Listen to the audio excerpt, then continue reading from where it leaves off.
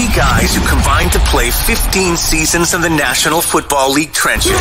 Well, two guys. And Mackey, who didn't do shit. He just, he just sits there and looks pretty. This is the O Line Committee. Yes, football. Welcome in to the O Line Committee, the only show in America where a nerd idiot fan like myself sits down with two former NFL offensive linemen and peppers them with questions. Jeremiah Sirles, Alex Boone. How the hell are you guys today? Are you playing are you playing chess against yourself on that board over your shoulder there, Alex? No, not today. I was actually just noticing that Sirles has his top button buttoned. What the hell are you doing, dude? Always, Seriously, you're about to get dinged right For now. what? Being a Schoolboy fine for Being a sure. professional? Schoolboy fine for oh, sure. Okay. I'm just happy you have sleeves on today. Sensitive. Dang. Just have sleeves It's a, on. it's a big step for Alex wearing sleeves on this episode of uh, O Listen, Line Committee. when you come out of six months of the coldest weather, I don't care if it's 50 and raining. I'm wearing a tank top. I need to get outside, guys. You know how it's been here. It's miserable. That's fair. I'm going golfing later, so that's why I'm getting I'm getting put together. Go work on that swing. Amazing. Are you a good golfer? Absolutely not. No, he's Nope. horrible. Horrible. Awful. But I'm getting lessons. I'm getting lessons because it makes me absolutely furious to be bad at it. Well, and if you if you if you look the part, that's sort of half of it, right? You go build No, build the confidence with that top button Listen, and go was- from there. There was We this- can I say saw- that. You can say that until you hit like hole nine, and then you're just tearing up the course, and you can look as good as you want. Everyone's like, "Dude, stop hitting it over there, please." And you're like, This guy's Golf? dressed like Rickie Fowler So, and he's shooting 150. golf, pickleball. There is this video I saw on Instagram that's like, I don't like when there's sports that I just can't naturally be better at because I'm bigger, faster, stronger. "That's true." Like I like is like I go show up to pick up basketball game. I'm gonna be better because I'm six six. Like go play some type of like, but like you go to pickleball and you've got this five foot seven, 155 pound dude out there just raking you over the coals. Just drives me bananas. Dude, how about the grandmas that just take people to town? And you're like, wow, this is incredible. This is fun. You want to get out there? No, I don't. I Yeah, absolutely zero. do not want to look stupid like the rest of you. I, played am pickleball so for like three hours once. My knees wanted to explode, and I was like, "Well, that's enough of that." Shot. They're now they're now I can speak from uh, my my dad's old uh, retirement community. They're now like replacing tennis courts with pickleball courts. good. Fastest growing sport in America. It is. It's amazing. Uh, you know, another big sport is football, the National Football League. And we're going to do a deep dive here into the New York Giants offense, the mastermind mm. that is Brian Daboll, the $40 million a year quarterback that is Daniel Jones. Danny Was it- Dimes. Was it is it Daniel Jones that earned the 40? Was it Brian Daboll building some things in? We're going to do a deep dive into it. If you guys could, this is a brand new channel here on YouTube, the O-line committee. If you could click the subscribe button and the like button, it'll help spread the word about two former NFL offensive linemen uh, nerding out over film with their top buttons done or their sleeves off. So please do that if you could. But uh, before we jump into the film here, just your general thoughts. The Giants, they made the playoffs for the first time last year. Brian Daboll comes in, a very run centric offense for Daniel Jones, and a lot of uh, sort of just like misdirection and different things. Your just general thoughts on the Giants offense before we dive in. Well, you know, I have a little bit of a unique perspective on the fact that you know I played for Daboll in Buffalo for two years. So I was he was my offensive coordinator um, there when Josh Allen was a rookie. I could see how Daboll was building the offense around him and what Daboll wanted to do, and you know what Daboll was able to do with that roster last year was incredible because that roster was not good. Like it had holes everywhere. They're paying a receiver twenty-five million dollars. I think he played seventy-five snaps in the entire year, or something crazy like that. You know, but he had some pieces, right? He had Daniel Jones, who I think he saw a lot of similarities to Josh Allen with the running style, big body. You have Saquon Barkley, which is always going to help as long as you keep that guy healthy. And you know, and then he had two tackles that he knew could play at high levels, right? You draft Evan Neal in the first round. Andrew Thomas was coming off the heels of becoming an all-pro type player. So there was certain pieces put together, but the way he would scheme things and the way he would put pl- guys in positions to win was just fantastic, and is why they were able to have success and why they beat the Vikings in the playoffs and why Alex Boone owed me dinner in Indiana. All right, listen. I think this is the one of the things, and, and Phil kind of brought it up, right? Like, who got Danny paid more, Danny or Daboll?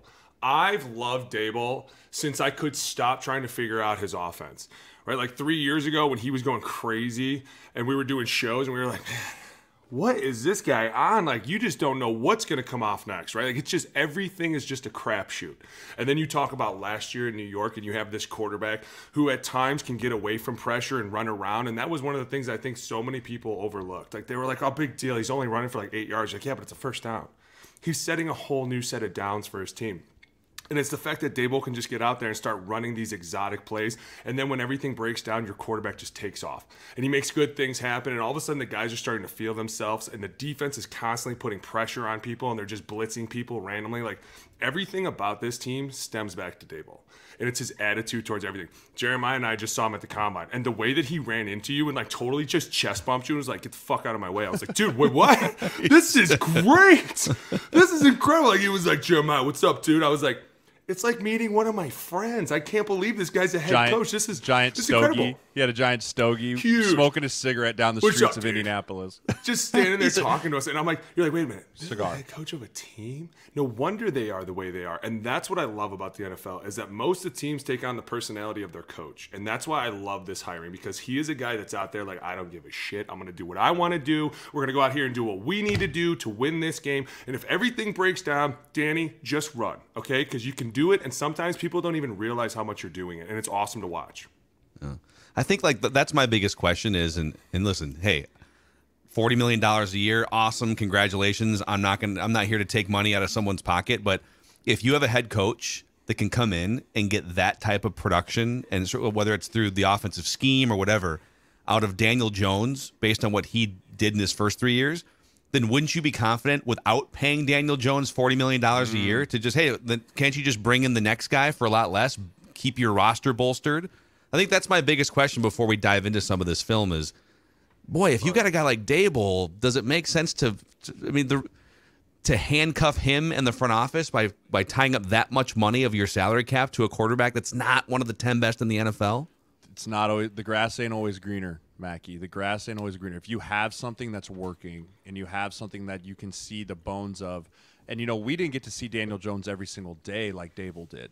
You know, we got to see his growth on Sundays, but I bet you his growth was exponential through training camp, OTAs, and I bet you he's even take a bigger jump this year as he has more understanding. You know, he was a first round pick, right? Like he Yep. he isn't a slap.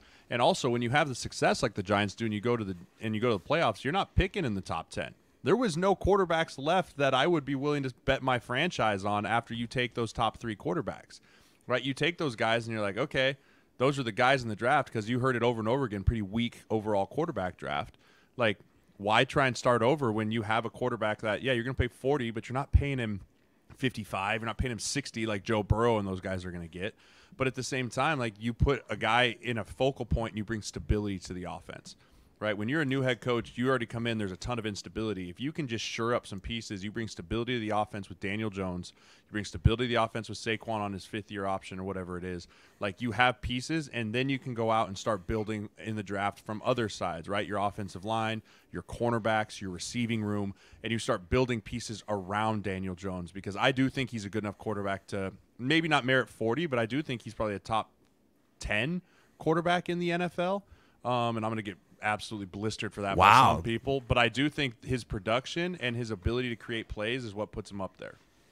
Well, I will say that once you get past like the top eight or nine quarterbacks, it becomes less obvious how to rank them because you've got Tom Brady moved out of the league and Russell Wilson took a huge step back, and so um, it, it- it's almost like I think of this as fantasy football, and you think of this as actual human beings and team building, which is very, Which very is- interesting. And, And I'm glad that. Jeremiah said that. That was so smart that he said that because that's the one thing that everybody forgets is like you can't just go out and buy Patrick Mahomes. There's no Patrick Mahomes on the street that's available. And then at the end of the day, you have to think, hey, listen, this guy did some really good things last year, right?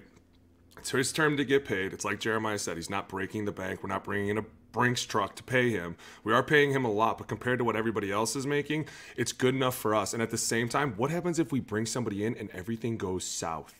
What happens if it's just not a natural fit? What if nobody likes him? I'm sure behind the scenes, and this is one thing that everybody has to know. For the most part, unless you're Arizona, you're not going to pay your quarterback unless the team loves him. You know what I'm saying? Like they have to feel the leadership from him. Hmm. They have to know that everyone's going to rally around this guy when everything goes south. Because then they're like, well, why are we paying anybody at all? Like the one guy that we're going to take care of, we have to make sure that he's the aura of the team. That's Can we confirm? are- Did, did they put a clause in his contract that he can't play video game? He has to watch a certain amount of film. You must the watch film at least once a week, please. Danny, Danny, here's Right? the Brinks truck, but we're gonna need to make sure But- that uh, okay. Put the the Xbox controller cord. down. Yeah. The right. Xbox Put cord. it down. No, and and that's one of the things that people need to know. Like I think I've loved Daniel Jones since he came league because he is so sneaky good at running that he does make these plays up. And at times you're like, dude, he's getting murdered from every side of the field. Like at times he had no O line, just getting demolished. His interior core two years ago gave up like 40 sacks alone. So it's like this guy's been under a lot of stress and a lot of duress, and now you bring in this new coach where all of a sudden things are starting to take off. Of course, we're going to pay him and see where this goes. This is something that we can put traction on and say, hey, the guys rallied around him last year. Imagine what he could do in another year of this offense with more guys around him, more weapons, more understanding of how this offense works. That's how this this team will build.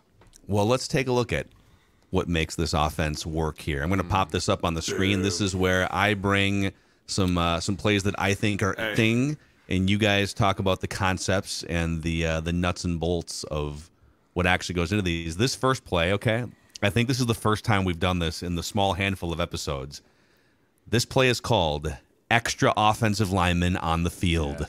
Oh, you can see him right there, dude. Look how big he is. This Little is tight end. this is heavy. Look at this. that right tight end. We have like we- looks we have like 14 tight ends and 12 offensive linemen on the field here. It's Right. just glorious. I love this it. is I a got, Daboll got, offense if I ever saw one. I got six starts under Buffalo being the heavy tight end, so I ain't gonna whine about that. It's probably a pass too. Knowing Daboll, it's probably a pass. Like he's just like, let's just go crazy. Never. This is early in the game. They're running duo here, hundred percent. Oh, I missed it. It's a little- Ooh, it's the mid zone. Look at that. Look, is that Feliciano? It is One of my favorite centers out there. That guy is vicious. Niner gang now. Here we go.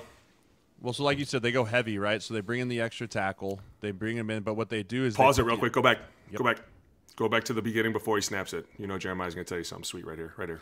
Right. So you see, they bring the extra tackle in, and they bring him over on the right side. So you see, everyone's kind of motioned and pushed over to the left. You see over there, but this is obvious. Everyone's going to think it like I did. You're running to the strong side, right? You don't bring a tight end, an extra lineman in to run away from him. So initially, everyone's antennas up for running to the left, and then you just backdoor it here, and you sneak them back out the left side here, and then again, you have two tight ends, so 13 personnel. Like this, this can hit either way. And then once you see the motion across here, again, you see 56, that? you see six going across the ball. They're immediately out leveraged. And when Look the, at that, I think yes, the one thing that you love here too is if you look at that defensive structure, 92 and four, they're trying to stop duo. That's why they're both in there right now. We're going to shut both of these double teams down, and we're going to force you to block these man on, right? So it makes it takes two guys blocking one guy, and it takes him off and makes him more man. It's harder to do. And plus, number four right there, that's an extremely hard block for that tight end. See how the ball snapped and he's not even off the ball. Number one, he can barely hear anything. He can barely see anything. So he's kind of going at the reaction. See how that's a not so much of a good double team right there.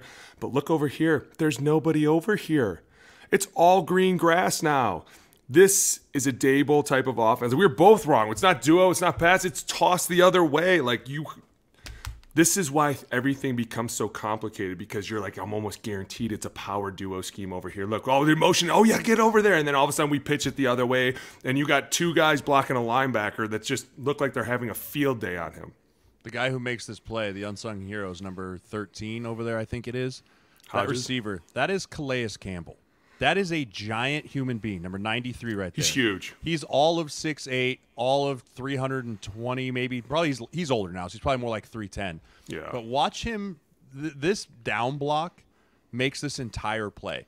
A, it's he's got a long ways to go, but he is just putting himself in there, and he's going to get right under his armpit, and he's going to lift Calais Campbell up off the ground. Wow, look, Look at at that! that. Look Like at Look that, at that. leverage. Look how many guys clear around him. Look, hey, wait, wait, go back. Look how many guys are clearing around that block. Three. Three guys. He's getting three. three pullers around him. Great kick That's out here. Thomas kicks out, right? Head on the inside, kick out there. Guy upside. He goes right Redson on. and Feliciano on the linebacker to the safety. Dude, this should go to the house. Big block here's Evan Neal on the backside too, getting through there, getting up to number six. The guy who always makes the play on on these tosses is the backside linebacker, right? He's still going to make the play, but now it's Yeah. 20 yards down the field. Beautiful, man. That's, I mean, you, you just don't see three guys pulling around a receiver blocking Calais Campbell, who, by the way, is an all pro. Like, that's why this works. And a lot of that is because of Daboll's mentality, right? Like, how many receivers do you see coming down there that can actually block a defensive end like that? And it's Daboll saying, if you don't do it, I'll find somebody that does. Or it's the mentality that these receivers are now like, yo, I'm in this offense. We are in a run heavy, so we need to we need to make these run plays work. Because if they don't work, how do you think we're gonna get the ball? Like that's kind of how this stuff starts to formulate itself together, which is fun to watch because when you have receivers that can block, it changes the entire game. It also helps when you know that you have a running back back there that can take it the distance anytime he touches the ball. True. Like you know, like hey, I just need to give Saquon a, a baby crease. He doesn't need a lot. He I just got to fit those giant quads through here, and he's going to go all the way to the Just house. ridiculous. Just massive. Uh, who do they call? He's not the quad father though. Isn't that that Packers running yeah, back? AJ Dillon. I Oh, think. yeah. AJ Dillon. Dillon's the quad father. yeah. This Yeah, guy, we should do like quad NFL running back quadricep uh, power rankings at some point here in the O line committee. Dude, hey, that would be actually be a it. fitting fitting award for us. We got some big quads in our gym. Cordell would So- definitely win. This is uh, I'll roll this here, but this is this appears from from my uh, from my fan eye anyways, just to be a read option with Daniel Jones. So again, this and th- some of this as one of the themes here, I'd love to unpack with you guys as we continue through is okay, how much of this is Daboll, how much of this is Daniel Jones, how much of it is just them working really well together. I love it. Um, so here you go. Ooh, bringing the safety down. Here we go. Oh, what did I tell you? Nobody even knows the guy has the ball. Oh my god. Who safely slides down? Nice. So this is this is a combination of both of them. Obviously, the scheme fits really well. 26 is buzzing into the box. All of a sudden, we take this fake handoff. Nobody has any idea except for the guy getting held. I mean, this is go back to the a top. lot. A lot of that is kind of the fact that when you hold that ball out in front of 26, a lot of people get scared too. Like that's why it's it's the scheme and the system that just works well. schematically schematically here too when they drop that safety in the box 26 right there he's supposed to have the quarterback. Like he's the one that has the quarterback. So like the way that they're going to id this is they're just going to spot this. And what i mean by spot a lot of zone plays have man principles versus spot principles but with spot principles that's saying hey we're we're singling our first combination here between 76 and 68 is going to a spot which is going to be where 44 is the next combination is going to a spot which is where 45 is and then you come through here and Belling. I think this is Chris Myarick, number 82.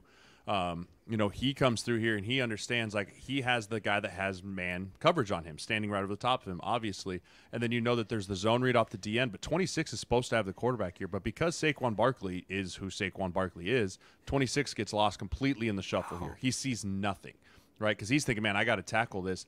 And then you see the defensive end also, man, 26 is a complete just animal. I got to squeeze down hard on this, and it just completely loses the edge. You know, they want to run a squeeze scrape scheme here, which means the defensive end squeezes down ball, and then this guy's supposed to scrape over the top. And he just completely misreads this. He doesn't scrape, which leads to a giant run here by Daniel Jones. 82 gets away with a pretty Yeah, decent at- hold there. I'm gonna be fair with. Listen, listen, my dude. You probably would have made that play, but you stuck your nose way too far in there. And if you get close to us, we're gonna grab you, right? And Yep. I mean, he's But it- literally holding on to. to But I also arm want you to know There's a little this. embellishment there. to no be question. fair. Hey, there's two guys here on this screen that don't get touched by anybody. And the quarterback still just runs around the defense for about a good 40 yards.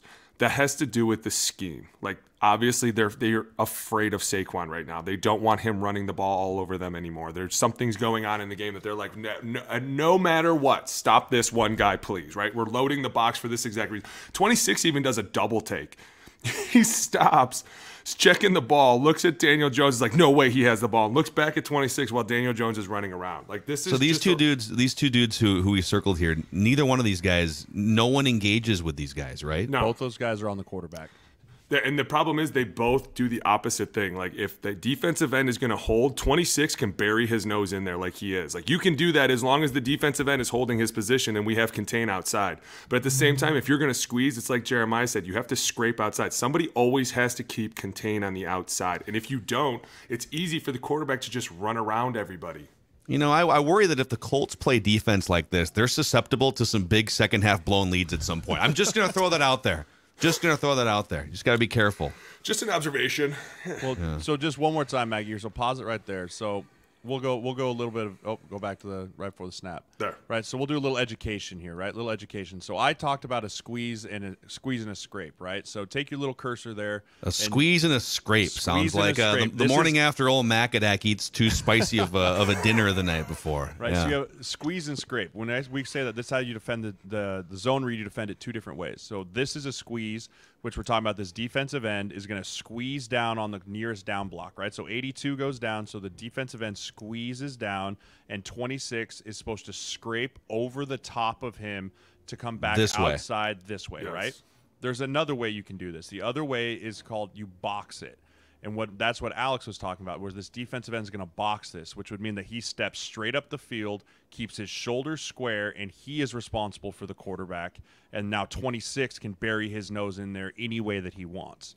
So he's sort of setting up. He would be in a box Yes, situation. there. he is he is sort of Yeah. setting a, a perimeter. Correct. For Daniel Jones is not going to get outside me. He's going to have to go up the field if he wants to gain yards. Yep. Correct. And then You have to hand the has the off. running back. Here That's they what have a miscommunication. Both guys are going after the running back, and that's where you see the complete lacks in the Colts defense, which allows for the big run by Daniel Jones. Got it. And that's normally if the defensive end were to stay there, the quarterback would hand it off, obviously, because he doesn't want to get tackled. And we don't want the quarterback getting tackled ever. So if you're not going to go for a long run, you're handing it off for sure.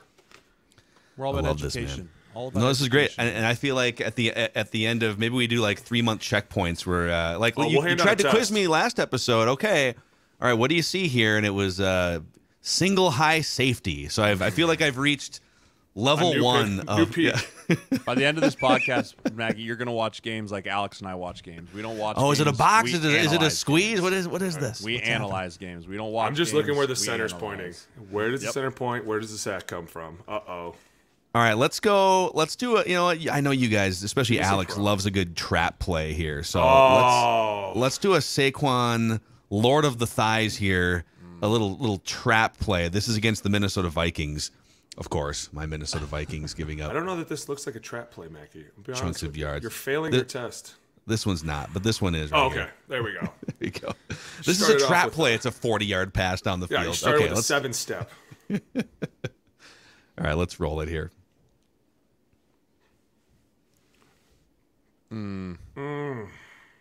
That's a trap, right? Churning butter, buddy, before That anybody even knows what's going on. We broke this play down, didn't we? This one hurt my heart a little You bit. and I did this one Yeah, on we did. I remember yeah. this one. All right, so here we go again. Look, go back, go back. We got a nice light box. Oh. Go back, go back, go back, Mac, Macadac, Macadac. Let me see it right there. Oof, that's a juicy box. You got six blockers. You guys got six in the box. Everybody's kosher. Let's do this. What are we calling, Mackey? What are we saying up front? Uh, we're gonna What- say uh, What's 97 hearing right now that's making him want to come off the ball? He's uh, he's hearing 5-0. Hmm. Deuce. Deuce. Deuce. Deuce. Okay. Deuce, deuce, Deuce, right? deuce. We're faking the deuce. We got the guard going to 54. We should have the tackle going to 58. This is a clean box. Tight end's This- coming back out. This is also a little bit game within the game here. Harrison Phillips, number 97, was also with the Buffalo Bills, while hmm. Brian Daboll was with the hmm. Buffalo Bills. We all know what we refer to D linemen as blind dogs in a meat house. He is the definition of that. He is just a penetrating fool. He just wants to get up the field and disrupt and do all that. So, how do you combat that? You just make him think he does exactly what he wants to do. And if you watch this, his helmet goes left once he gets going, right? So they they fake him, they let him go, no one touches him. He gets up the field, he looks right, Whoop, whoop, left, whoop, right. Then he looks back to the left, and then it's too late. He's getting killed. He has Dude, no you've had all idea day. what's you've going had on. all day to figure this one out, man. Oh my god! Boom! He still oh, gets Oh, steamrolled. You could just A see his little Viking guard. horns. His little, Glowinski. his little Vikings horns just looking back and forth, and then it's too late. Dude, Glowinski looks more like a Viking than anybody in the league. This dude's big beard came from the Lions, just man eater coming through here. And that's what's so fun about this is like when you get a guy that doesn't know what's going on and you just crush him. I think you've hit on something. If you're the Vikings, you should look to sign more players. I mean, the Giants have a guy that looks like the looks looks like a Viking. The Vikings need more guys who look like Vikings. That's a requirement. Chris Hovan looked like a Viking, you know. Dude, John Hovan. Randle looked like a Viking with the war paint and everything. Mm-hmm. Let's get some more of these guys. The big blocks here, Feliciano and the Yeah, tight end. especially because look how fast the nose is coming off the ball. Yeah. And he's got. Feliciano he's- and the tight end are the biggest blocks that make this play go. They create the hole.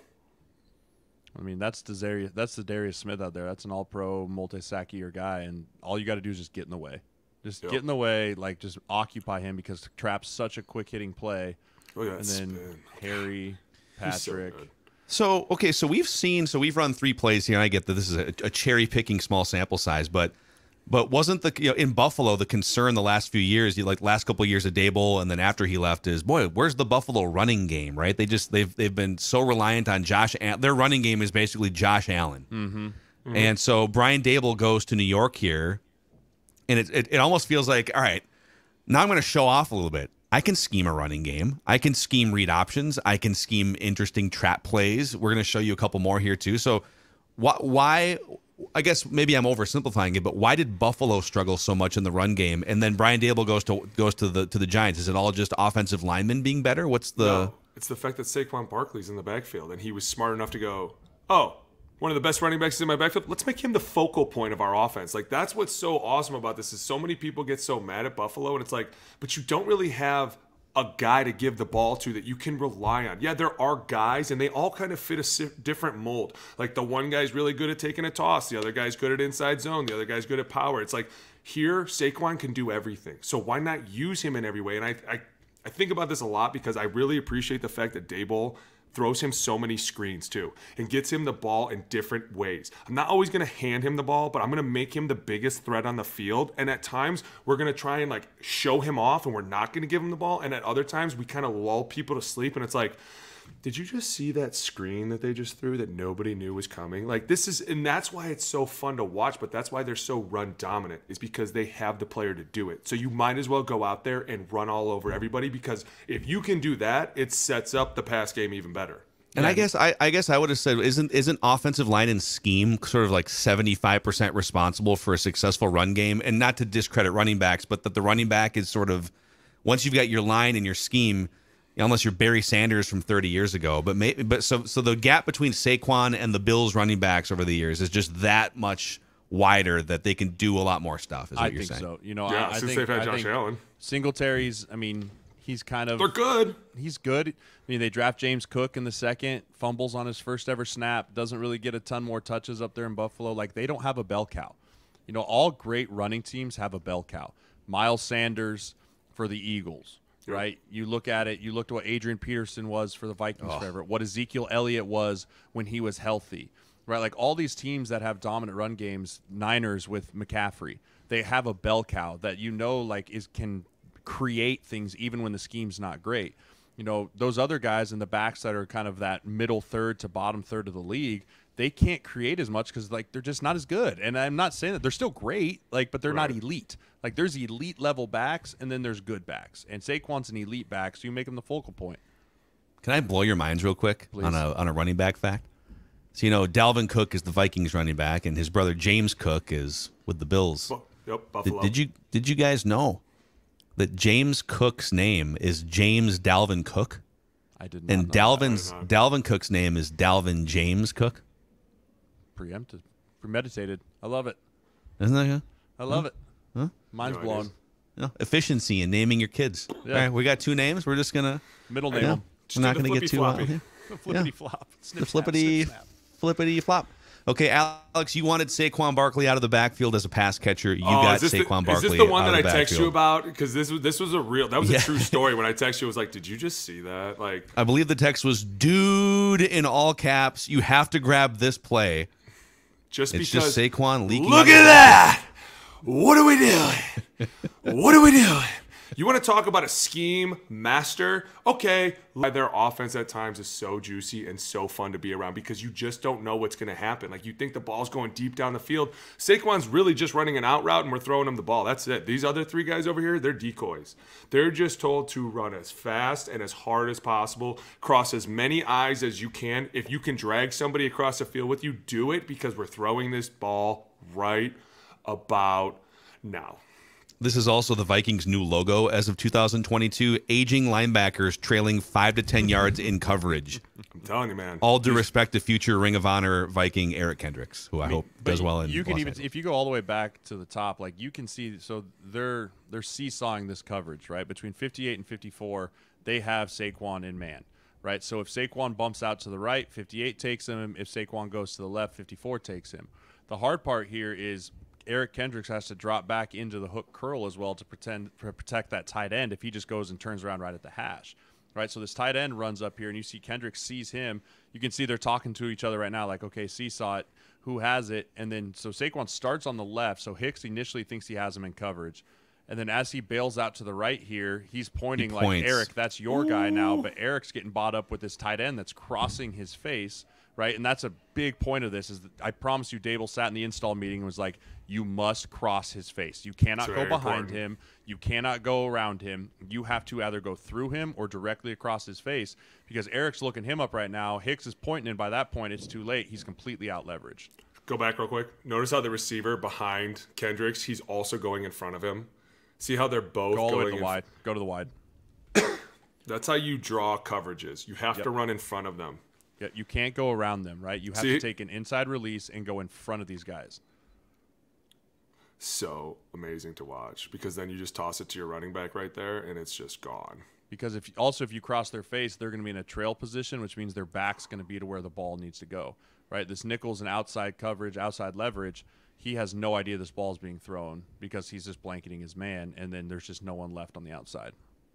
God, this is so. This is. Uh, this is of course, I'm going to turn this into a Vikings rant. This was like 17 weeks of torture watching the Vikings do this, and it, it's it, it is some of it's giant scheme, some of it's Saquon Barkley scheme, a lot of it's just Vikings miscommunication and uh, guys who are 31 years old on defense. But th- that's how you take advantage of it. If you're the Giants, this is exactly if you're going into a game against guys. You got a 30 year old linebacker and a 31 year old linebacker, a new defensive scheme. They've never played together before. This is the type of thing you would do all day long to take advantage, which is a credit to Brian Daboll. Right, and you said it. It was the, it was kind of the theme all year. The defense is just getting beat like a drum, and it's just one more way to get our bell cow the ball without having to hand it to him. Now we can get him the ball in open space, which also Jeremiah was talking before about like good running backs to elite running backs. I think when you think about an elite running back, you think this guy is a three down back. If I throw him the ball, he's going to make somebody miss and he's going to take off. Or if he's in man coverage versus a linebacker, it's definitely a win. If he's in man coverage versus a nickel, it's going to be a great fight. Like these are the reasons that make this team so fun is because you can just put this one guy, kind of like we talked about last week with San Francisco, where they're moving guys around. Well, here it's like we're going to move one guy around and we're going to make everybody on the defense respect him, see him, and if we get if we can out leverage them or get them in those positions where they're seesawing and we have a tight end coming across and they have to communicate mid play, guess what? You've already lost because Saquon's still running as fast as he can and he's not going to drop the ball. So Okay, this next play for you guys, I'm going to call it how many running backs and tight ends can we put on the field without getting called for too many tight ends and running backs on the field? All right, so This you're going to see this is old school stuff. This is like a 70 year old throwback play here. So let's bring it wide. this is like a 30 32 offense. Three running backs, two tight ends. Zero. Oh, they're in receivers on the pistol. Zero Talk to me about receivers on the pistol, baby. This, I'll just Dude. run this. Actually. This is Pistol's this is so fun. This is this is Nebraska 1997 triple option from the gun. Hey, Hey, this is Yeah, this dude. is San Francisco 2012, baby. Pistol. We got Vernon Delaney back there. We got Frank. Who we got back here? Talk to me, Saquon. Ooh, oh look, the defense doesn't even know what to do. Where are we going? So And it's a pass play. It's a wheel route pass play out of this. And before, I mean, before you even go, so when you see this personnel run into the huddle, right, like on a defensive side, you're gonna put you're gonna put your base defense on the field. Where are we going? You're gonna put your base defense on the field, and then they motion into this pistol. They widen a guy out, and now you're going, oh shoot, I wish we had some like sub guys on the field, right? They got f- four D linemen on the field, four, two, three linebackers, right? So you're They trying to get everyone line figured up. out where to go, and this is just a simply this is triple option, right? So if you snap the ball and pause it right away, right? So if you snap it, boom, pause it right there. So there's two things here. He can hand it, right? He can hand it if 97 squeezes, but again, they're going to squeeze and scrape this. So 40 is going to roll over the top. So 97 is going to squeeze, 40 is going to roll over the top, and then you go, okay, so we're not going to hand it. But then over there you go, okay, if they're going to squeeze hard and they're going to come down to stop the run, then we just send this guy out instead of blocking him, we just tell him to put his foot in the ground and get north and south right? 21's eyes are in the backfield. 21's looking directly at the ball, and so he has no chance of catching up with this guy once he gets rolling down the field. Yeah, so 20 you see 21 here. Just watch 21 here for the audience. Yep. as we run this play. 21 has the ball. He's And thinking, don't- okay, I have and don't Jones forget- on the run. Oh shoot, it's too late. If these two guys too, That's a nice forget- pass, by the way. Go back. If you go back a little bit and see that if 21 goes with the first running back, 31, and 40 goes with the second running back going across, Danny Dimes can just run it. There's so many plays out of this one play, right? Like if these guys just both see these receivers and take off towards them, he could also run it. And that's why these offenses are so fun. You just saw the defensive line. We're looking at you like, dude, where do we line up? This is supposed to look like a goal line front, and we look like we're in third down. What is going on? Is this moment right here, as as offensive linemen or anyone on offense, I'm gonna I'm gonna take you back. This moment right here, where you have motioned into this is what what is this a 32 offense, right? Because three running backs, two. So you've Two done you've you're you're throwing it back to the 1990s, the 1960s, and the defense is pointing and and running back and forth. Is this not one of the most satisfactory feelings as an offensive player? Right, like literally right here. You're trying to create chaos with them. So you, as they're starting to freak out, you're starting to scream even louder because you know it's a simple run to the left. Like it's literally snap the ball, run to the left because Dan's going to obviously fake the zone and then he's going to roll out. So it's like a waggle, right? We're taught to just turn and run. So when you get down and you see them screaming and freaking out, you kind of start screaming too and freaking out like, B, B, B, hey, we got to go to 40. Go to 40. You hear me? Because then all of a sudden they're like, hey, it's over, sure, I'll run. and then it's really just a pass. Like sometimes, if you can create more chaos for them, you will. You'll just start screaming random things and no, you're wrong. It's a power, and it, it's it's fun. But then at times you're like, okay, I wish it wasn't so chaotic. Like they get their third down where they're just licking their chops, and you're like, okay, I had fun on first and second down. Now it's their turn to have fun. Okay, all right, this is where the rubber meets the road, boys. Okay, here we go. Get big, get big. It's hard, man. It's it's a it's a mental mental game. All right, I have uh, this, and Alex, you've seen this one because we did uh, for Purple Daily. We did a bunch of Giants Vikings things, but uh, Jeremiah, this is a Statue of Liberty right here. This Oh. is a Giants Statue of Liberty. This is the bag. Like Brian Daboll has such a deep bag of. Doesn't care. Tricks, Does dude. not. Care. Hey, remember that? Remember that play from the Little Giants? Let's do that. The annexation of I Puerto watching- Rico. hey, Let's go. I was watching it last night with the kids. We should try it. I talked to Rick Moranis actually on the phone. We uh, They're bringing in the ice box today. I was watching Boise State, Oklahoma last night at three in the morning, and I saw this play. should For we no paint our reason. field blue? Actually, I think let's paint the Dude, field telling- blue. This sounds like real things that Daboll says every day in his office. hey, Joe. Joe, question. Can we paint the field blue? No, okay, all right, all right, okay. Just had to throw it John. out there. John, let me ask the owner. I'll ask the owner. So, all right, I'll roll the uh, Statue of Liberty here. This is uh, this is in the the Hey, deepish quick red here. This is this is blowing my mind. Do you think he calls the owner John or Johnny? Johnny. Johnny. Uh, for sure. He looks like a Johnny guy, All right? right. Right. Johnny. come here. Respectfully, though, respectfully, I Think he calls him Steve or Stevie? Steve. Steve. Stevo. No, no one calls Stevo. him Steve. Oh, he definitely calls him Steve. No one calls him Stevie. Steve-O. What's Come wrong here. with you? Stevo, guy. Except for maybe you. All It's right, just a name. Mm, let's go full screen here for you guys. little Statue of Liberty action. Annexation of Puerto Rico. Here we go. Again, chaos, motion, 26. Look at that. Focal point, right? Go back. Go back. We just talked about what did we say? If he's becoming the biggest person on the screen, he's probably not getting the ball, right? Here we've motioned him all the way in front of everybody to see him. We all see him. Okay, now look, we're going to run him real fast the other way so everyone freaks out real fast, right? And then we're not even going to give him the ball. So that's a tell. So if so, basically, hey Saquon, ah, running around like he's if he's drawing that much attention to himself, he's probably not getting the ball. Is that what you're saying? I mean, this is almost the most blatant motion I've ever seen someone run. And look, he does the fake hands too. He does Go do the back. fake hands. Oh, here comes ball. My ball. And honestly, if they throw He this jumps to in him, the air too. Look at Honestly, this. if they throw this to him, he might score. That's what's sad.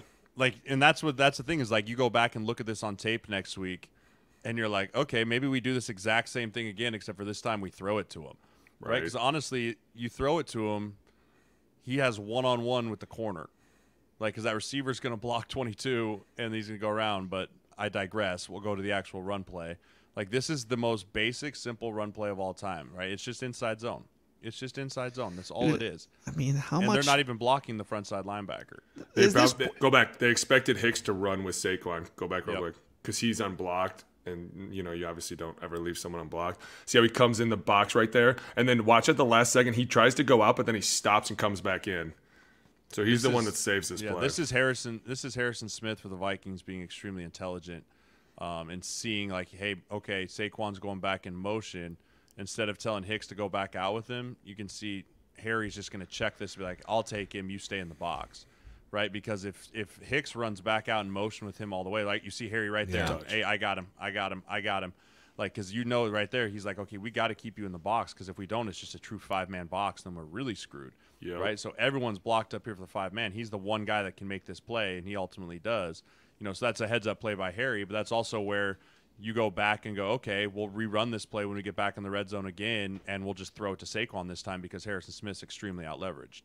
And this winds up only being what, like a three yard gain here, maybe a four. He, what did he get this to the five yard line? So It's just the the Vikings did a of- decent job on it's this. the actually. complexities of making a making a simple play look look different right like it's so many times you just see a straight fake pump and just hand this off but the fact that the statue of liberty maybe it hangs that guy one second a little longer right like see hicks takes that one little hop right he takes that one little hop to the outside when he sees daniel jones turn his back to him and pretend like he's throwing the football instead of just turning and opening and throwing and handing this right? So all you're hoping for is that that guy takes one or two steps, and then that can create a crease that ends up from a three yard gain into a touchdown.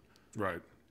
Is this kind of disrespectful? Like, are there any play calls that you would deem, oh boy, that, but this is going to be great to run, but they're gonna. No, No, They're gonna That's take just this thing. creative. That's just, them trying to be creative. I mean, there's really the only disrespectful thing I could ever think that somebody would do is if you ever tried to clock it and you threw it, or if Oh, you tried Dan, to, Dan Marino did that one time, didn't mm-hmm. Brett Favre? or, or if you try to take a knee and you try to then like run it, like you know what I'm saying, like that would be considered. What was the disrespectful. Greg or the Schiano defense thing? that goes hard on the knee? You're like, oh. dude, Yes. that's, that's a disrespectful thing. You cannot like we've literally the ref will come up and be like, hey, he's taking a knee. Nobody do anything. All right, game's over. You lost. You should have tried harder. You should try Not harder. if- not get if you're a down. Right. Schiano man. Like, yeah, go ahead, throw a fist when everyone's turning around to walk away. Okay, guys, real tough. that Real was the badasses. worst. That was Hate the that. Worst. No, not disrespectful. No, I think everything's fair game in the NFL. in the National Football League. so a lot of just a lot of creativity there, a lot of creative running game action. You know, I, I actually saw I was looking through some just some different stuff on Twitter today, and again, this is not like to rip Daniel Jones or anything, but of what of what he's being asked to do, for instance. So the Giants' percentage of passes thrown beyond the sticks on third down last year. Dolphins were number one. So they're asking Tua, hey, third down, you get that thing in the air. Uh, shockingly, the Vikings were mid-pack with despite the Kirk Cousins fourth and eight uh, three-yard check down in the playoff game. The Giants last in the NFL, only 34% of their third down passes went beyond the stick. So I just I don't I mean it was a great year for Daniel Jones, but they weren't asking him to do as much as other quarterbacks, but it obviously is working Well, within that hold on. scheme. I'll defend. I'll, I'll put on my lawyer hat here. I'll defend Daniel Jones a little bit. Here we go. So the two teams you mentioned, right? Miami and the Vikings. What are two things that they have that the Giants do not? Tyreek Tyreek Hill, Hill, and Justin Jefferson. Justin Right. Jefferson, Jaylen Waddle. Like you look at this Vikings or this Giants receiving corps, they didn't have that guy. Right? Now what they do in the offseason, they drafted a guy in the third round that can absolutely burn coming out of Tennessee, Jalin Hyatt. And then they went and picked up Darren Waller, who's one of the best receiving tight ends in the NFL. So you start talking about okay, what did what did Daboll do in Buffalo? He got Diggs for Josh Allen. He went and drafted um, Dawson Knox. Right, like he started putting weapons around Josh Allen to allow him to push the ball down the field more, and I think we're going to see a lot more out of that of the Giants this year. For sure. No. Case closed. All right, all right. We'll we'll continue our. Uh, Wow. I'm sure we'll have plenty of time Not in the regular for season. Sure there, Jeremiah. That We'll was see. great. We'll see. I think I'm just more. I'm more pro. Just to put a bow on this, I am. I love Brian Daboll. The jury is not out on Brian Daboll as an You look offensive like him too, mastermind. by the way. I gotta say that. People you look, say I'm- that, I feel like. I'm talking to him right now. I'm like, Jesus, Daboll, stop talking about yourself. Just to grow the beard out a little bit more. I feel like I need a little bit more sweat on my forehead and maybe. Dude, it's all coming together tan. now. I'm like, that's why he looks so uh, familiar. If I had Jeremiah's beard, I think I would be Brian Daboll at this point. that's fair. you should be Daboll for Halloween. That'd be great. I will. I feel like you're I'll- also just jaded by giant quarterback contracts. For sure. being a you Vikings are. You're upset fan, about you're it. Just, you're you're like, just should we? Should we do just- this? Should we keep paying this guy record. more and more money every single Are we just gonna go down the road with the can? Just keep kicking it? Okay. we'll Anytime I kicking it. see a kind of a mediocre quarterback that makes too much money, I just it's like I have night sweats. Well, you know, as it's, a I mean, guy. I don't blame you, dude. Seriously, it's been it's been a long time for you. Yeah, we'll get there someday. Uh, if we could just reincarnate 2009 Brett Favre every year, that would be uh, enough for me. So, Uh, well, think he's doing court soon. So I- he, yeah, these are these are high res pictures now, man. There's no there's no hiding those. These are high res pictures now off these iPhones. yeah. The flip phone's like, wait, is that Brett Favre's dinghy? Now it's like, okay, yeah, I'm pretty sure that's. Oh, uh, that's in 4K. We don't want to yeah. see that. we're good. Oh man! All right, well, Giants fans, uh, let us know what you think in the comment section on the O Line Committee YouTube channel. Hammer the subscribe button, the like button, and uh, hammer me if you want for my anti Daniel Jones takes. This is an offensive line lifestyle podcast, the O Line Committee.